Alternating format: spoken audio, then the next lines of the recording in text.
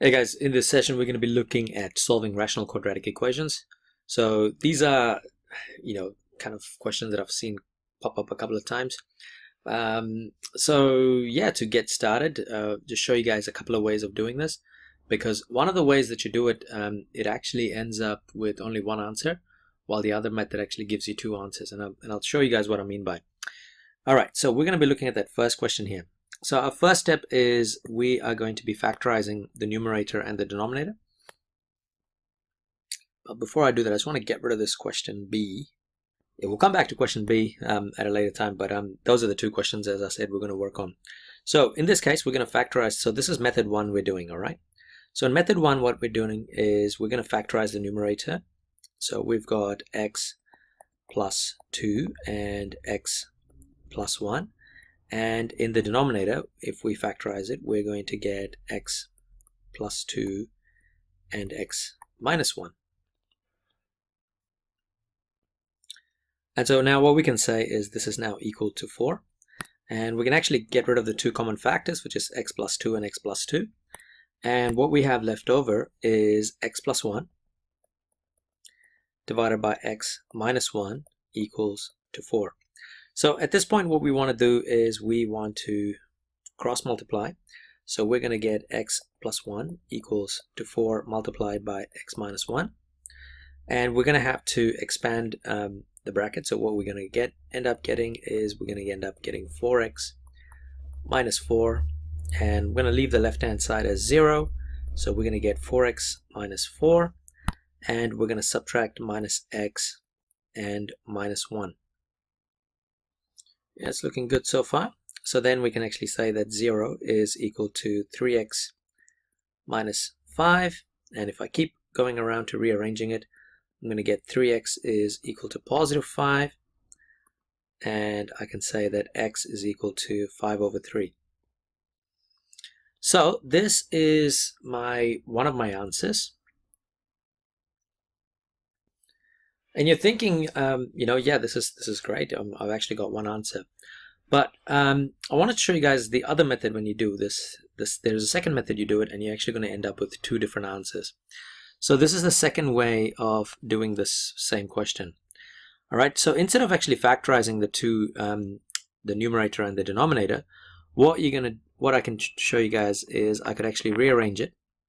So I'm going to get x squared plus 3x plus 2 equals uh, 4 times x squared plus x minus 2. So all I've done is I've just gotten rid of the uh, denominator onto the other side. And at this point, I can actually expand the brackets. So I'm going to get 4x squared plus 4x minus 8.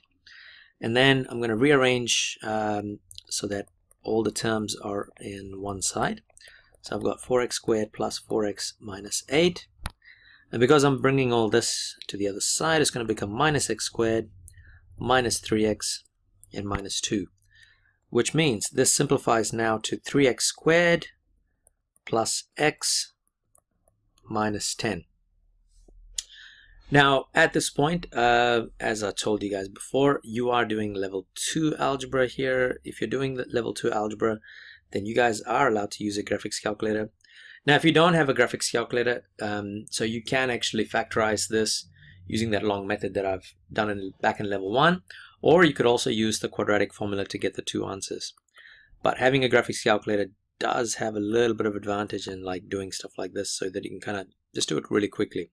So what do we got? Polynomial, degree 2, and the values are a is equal to 3, b is equal to 1, and c equals minus 10. Now, as you can see, there are two answers here. So you've got 1.6666, which is the same thing as saying 5 over 3, which is shown in the calculator at the, um, how do I put it in the, in, I don't know if you guys can see the mouse here, but it's actually in the screen. It is at the right bottom. You can see the 5 over 3 as a fraction. And then you've got your second answer, which happens to be negative 2. So our two answers here that we're getting is x is equal to 5 over 3 or negative 2. Now, here's the thing. when you do get two answers, uh, it is always a good idea to just put it back in the equation just to see if they work out. Now we know that 5 over 3 is what we got in method 1, so we can almost guarantee that 5 over 3 is actually one of the answers. But if you're doing method number 2, you actually have to prove um, that both of these values actually work out. So um, you could put 5 over 3 in there, uh, in the equation. So what are you going to get is 5 over 3 squared plus 3 times 5 over 3 uh, plus 2 and that's all divided by 5 over 3 squared plus 5 over 3 minus 2 and now we want to check if, whether this is equal to positive 4 or not now a really quick way of doing this in the calculator is instead of typing all of that 5 over 3 all the time what you could do is go into menu go into run mode And I know I've done this with answer method before, but there is a little shortcut that you can actually do. So what you can do is you can actually click on 5 over 3 and there's a little arrow here just above the on button and below the tan button towards the right side. Um, I hope you guys can see it. It's below the tan button.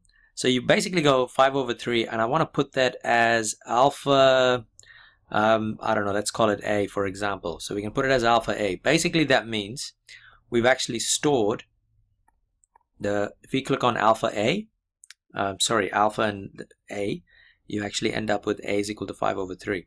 So by doing this, then what we can just do is just click on alpha A squared. Um, I actually want to put the brackets in there first because I want to do the numerator first. So alpha squared plus 3A plus 2 and then now that's divided by uh, alpha a, that's a squared plus a minus 2 and we want to know whether this equals to positive 4 and that does equal to positive 4 so we can actually say yep this actually works out.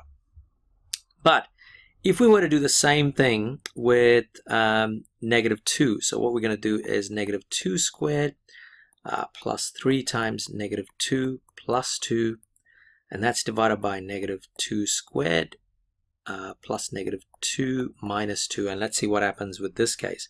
So the reason why this is really um, the using the a works out is now what you can do is you can actually put down uh, you can actually uh, you should be able to do it. I hope it works we can actually put negative 2 as a so then what happens is if I go a now a should be negative 2 then what I can do is I can press up and go to my equation and instead of typing it all over again I can just click on that and as you can see, it's coming up with a maths error. And you're wondering, oh, did I do something wrong? Actually, you didn't do anything wrong. Uh, it is actually correct that you're not supposed to get an answer. Um, the reason you're not supposed to get an answer is because if you think about it right here, when it says x plus 2, if we substitute x as negative 2, so what's going to happen is this part here is going to become 0.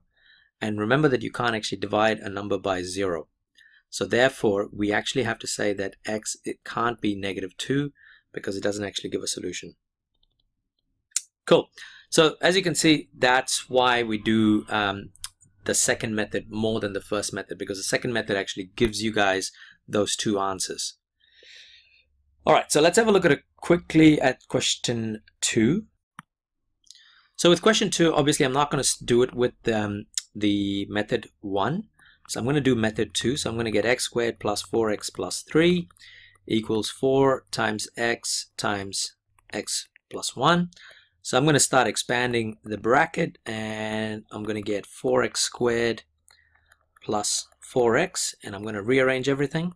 So I've got 4x squared plus 4x and then we've got minus x squared minus 4x minus 3. So what we're going to end up with is 3x squared minus 3. Now with this one we can actually see that we don't really need to use the calculator because we can rewrite this as 3 x squared minus 1. Uh, 0 divided by 3 is 0. So what we're going to end up with is 0 equals x squared minus 1.